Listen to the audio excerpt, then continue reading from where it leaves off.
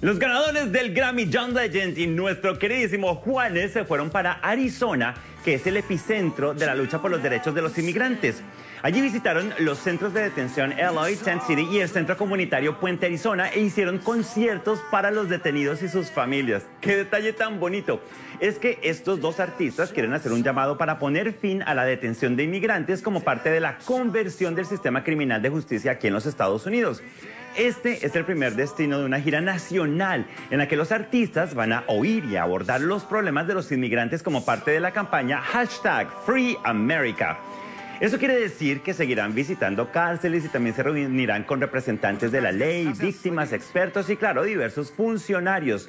John recordó que estas personas son tratadas como criminales, pero su crimen es que vinieron a los Estados Unidos en busca del sueño americano.